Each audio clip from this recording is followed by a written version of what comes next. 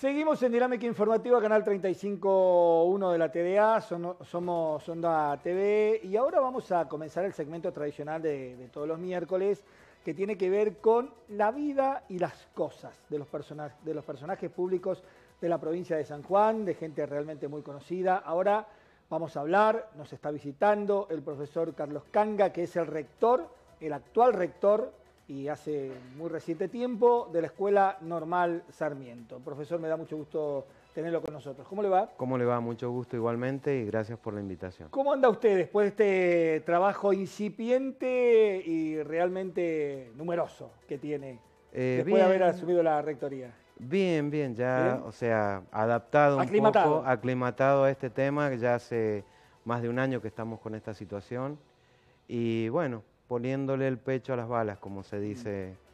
Bien, y para, para que la gente lo conozca, eh, profe, em, háganos una sinopsis de lo que fue eh, su vida como para llegar a la rectoría, como para que la gente más o menos tenga conocimiento de quién es el nuevo rector de la Escuela Normal Sarmiento.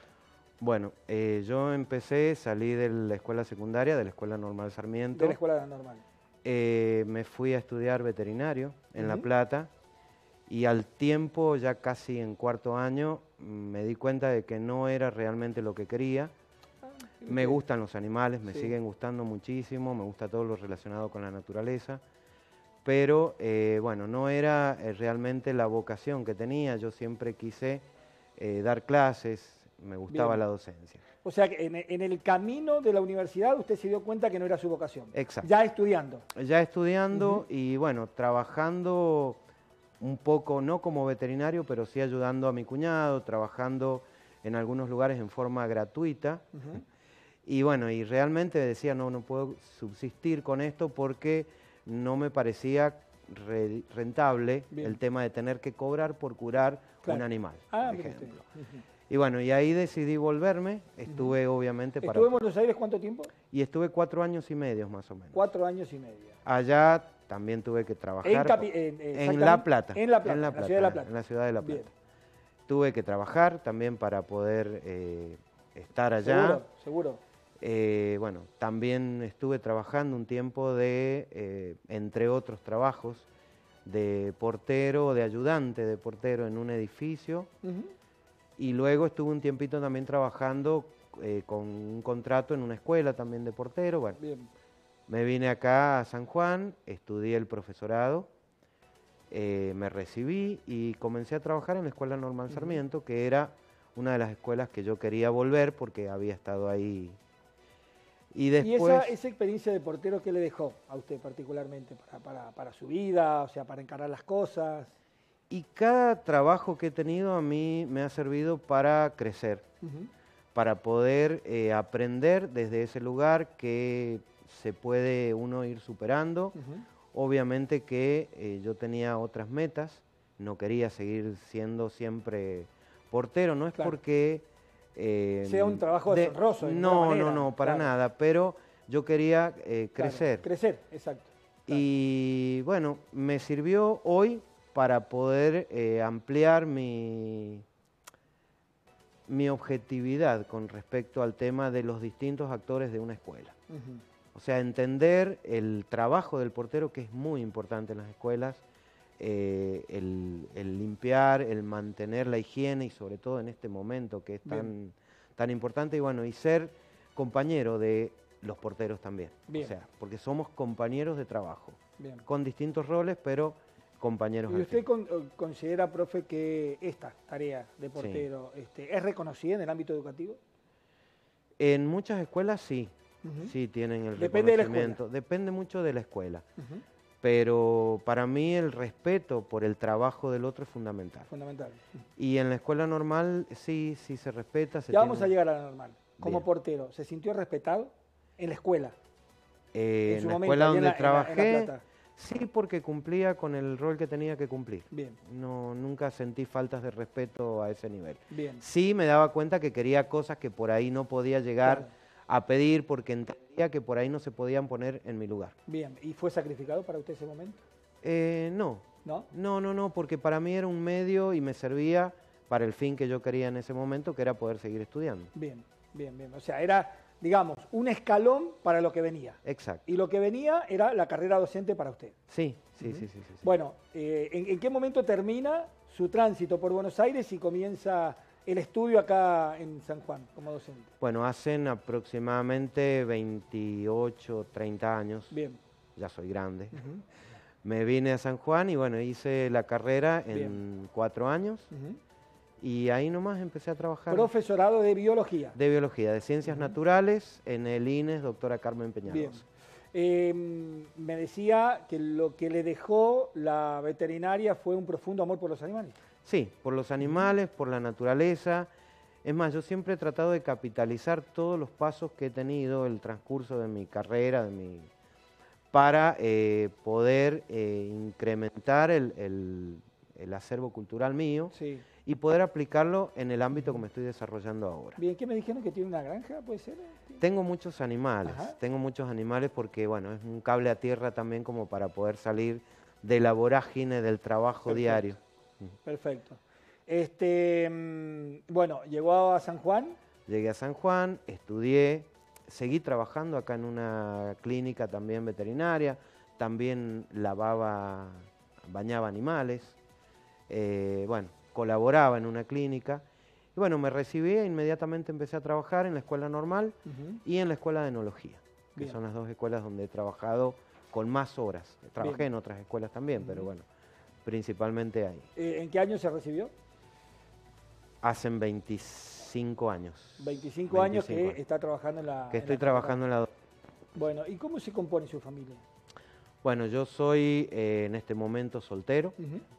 Eh, tengo a mi mamá, a mis tres hermanos y bueno, y a mi papá que falleció el año pasado, que bueno, lo recuerdo con mucho cariño y sé que él en algún momento me está mirando y que debe estar muy orgulloso porque él siempre estuvo al lado mío, siguiéndome en todo lo, que yo iba avanzando. ¿Sus padres fueron un apoyo fundamental para sí, Sí, sí, sí, un ejemplo principalmente de trabajo.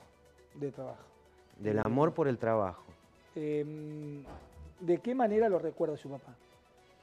Y como una persona que me enseñó que eh, lo más importante es la familia y el, trabajo y el amor por los hijos y sacrificarse y sacrificarse en el buen sentido, no eh, que eso tiene un rédito muy positivo. Claro, claro. ¿Y su mamá?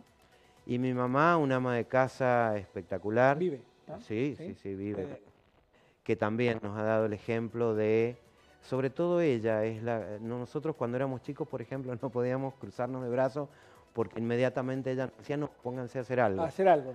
Eh, y bueno, yo creo que esa... un profundo amor por, por las tareas de la casa, por, por los quehaceres, por, por el trabajo fundamentalmente. Sí, sí, sí, sí, por el trabajo y por la familia. Eso no implicaba el hecho de que los mande permanentemente a hacer algo que ustedes no tuvieron infancia, ni, no, ni no, pudieron no, jugar, ni...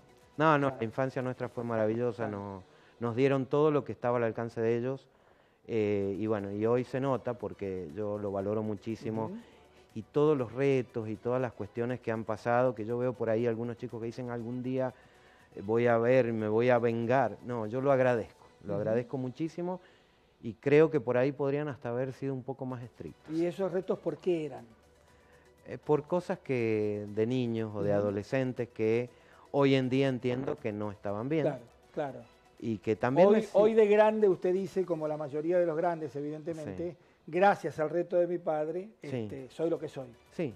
Y también me permite, ojo, ponerme en el lugar del adolescente de hoy y entenderlos el por qué hacen las cosas que hacen también.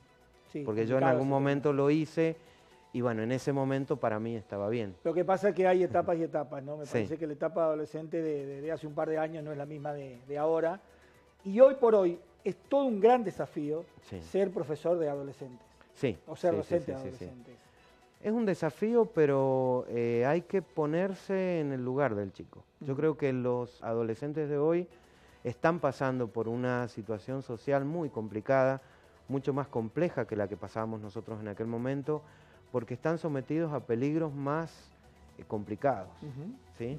Entonces yo creo que hoy, más que nunca, hay que acompañarlos, hay que escucharlos, hay que entenderlos eh, y bueno, y tratarlos de pasar esta etapa tan, tan complicada. Profe, este, ¿cuántos hermanos me dijo que tiene? Tres. Tres Dos hermanas mayores y un hermano menor. Bien, bien. Eh, ¿Se criaron eh, muy unidos, acompañando? ¿Cómo fue, digamos, la vida en familia? En familia todavía, todavía somos muy unidos. Eh, bueno, hoy acompañando a mi mamá, que está sola, pero seguimos en contacto permanente. Tenemos un vínculo muy importante por el hecho de la unión que se nos generó cuando éramos chicos. Y si bien mis hermanas viven, una que se quedó viviendo en La Plata, eh, ah, tiene una hermana ya. tengo una hermana en La Plata, sí. Otra que está viviendo en San Luis. Y mi hermano que vive acá en San Juan, pero estamos permanentemente en contacto. Hoy a través de un grupo de WhatsApp, por ejemplo. Ah, Así que, bueno, todos los días. El, típico, el tradicional WhatsApp familiar. Exacto, exacto. Bueno, eh, ¿qué le diría a su papá hoy, ya siendo rector de la escuela normal, si pudiera verlo? Gracias Sinceramente le daría las gracias y me gustaría que pudiera acompañarme. Me gustaría mucho que me pudiera acompañar en este momento, que yo sé que para él significaba mucho. Un orgullo. Sí, sí, sí, sí, ¿Y lo acompañó hasta el año pasado, me dijo? Hasta el año pasado, sí. Falleció rápidamente, gracias a Dios no sufrió. Nada que ver con el COVID, pero bueno, tuvo una muerte muy rápida y no dolorosa, gracias a Dios. Bien. Eh, profe, una vez que se recibió de docente, ¿cómo fue su vida? Empezó a trabajar, me dijo, en dos escuelas. Empecé a trabajar principalmente, la mayor cantidad de horas las tenía en la escuela normal y en la escuela de enología. Bien. Eh, también trabajé en Caucete, en Chimbas y lugares muy diferentes que también me fueron abriendo la cabeza porque eran otros grupos sociales que a mí me permitía conocer otras realidades que no conocía. Y yo creo que para la formación, para el trabajo de un docente es fundamental. Grupos sociales en los distintos departamentos que le tocó De distintos departamentos y con distintas realidades. Algunas mejores, otras peores. Eh, pero sí que me abrían la cabeza como para poder entender a esa heterogeneidad Fue preceptor también, ¿no? no, no, preceptor no, es el único cargo que no cargo en el ámbito docente que no... En el ámbito docente no, sí fui, eh, bueno, profesor, estuve como jefe de departamento, eh, también estuve con mis sobrinos, porque yo no tengo hijos, estuve en la asociación de padres, que también es importante conocer la visión del papá. Estuve en la sociedad cooperadora de la escuela normal también mucho tiempo, que es otra, otro foco, distinto al del docente, al del alumno también. Y bueno, luego fui regente de nivel superior del profesorado después vicerrector de secundario, vicerrector de nivel superior y hoy desde el 21 de mayo eh, rector. Bueno, ¿y cómo, cómo se dio este acceso a la rectoría? O sea, porque usted se venía desempeñando como vicerrector. Era uno de los vicerrectores. Era uno de los vicerrectores, sí. el, asumir como rector es por un listado de junta de clasificación y por puntaje. Eh, además de otros requisitos, tener horas titulares en la escuela. Eh, y bueno, también me preparé ya teniendo esta visión, o sea, nunca lo tuve como objetivo ser directivo de la escuela, pero sí se me dio la posibilidad de hacer una maestría en administración y gestión educativa, y ahí es donde se me prende la lamparita de decir, me gusta la gestión, y ahí es donde comienzo, una vez que terminé la maestría, comienzo a incursionar en el tema de, los cargos de gestión. De los, cargos administrativos, digamos. Sí, sí, sí. O sea, que, que eh, dispara mucho de ser eh, este, docente exclusivamente. ¿Es muy distinto? Eh, no, yo creo que es fundamental tener la visión del docente. Bien. ¿sí? Y además a eso incorporarle lo administrativo. Bien. ¿Sí? Porque es con una conjunción de lo administrativo y pedagógico. No es necesario para aquel que quiere ser solamente docente. Eh, no. Pero sí para el administrativo, digo, para aquel que quiere llegar a cargos electivos, conocer de administración. Sí, sí, sí, sí, es fundamental, sobre todo la parte de legislación, la parte de movimiento institucional, que por ahí no se conoce, o que un docente en lo normal no lo conoce, yo lo aprendí a conocer una vez que empecé a incursionar en eso. Bien, y, el pensamiento del docente es de confrontar permanentemente con el director, por ejemplo, con el rector, porque es su jefe, ¿no? Hay que reconocerlo. O, ahora, usted que está en, en, este cargo directivo, entiende más al docente y sabe cómo se comporta.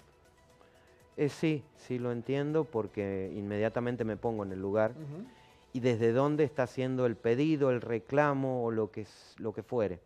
¿sí? Y trato de llegar principalmente de escuchar, de sentarnos a charlar y a veces las respuestas son positivas, a veces son negativas, pero siempre con una charla mediante y un fundamento, eh, ya sea positiva o negativa la respuesta. Seguro. Vamos a ir a una pausa, profe, y después vamos a hablar de el estudiante. Bien. ¿Cómo se vive desde el ámbito educativo? ¿Cómo vive, cómo siente, cómo piensa un docente de fuste como el profesor, el rector, el actual rector de la Escuela Normal Sarmiento? ¿Cómo piensa, cómo siente de sus alumnos? Ya volvemos.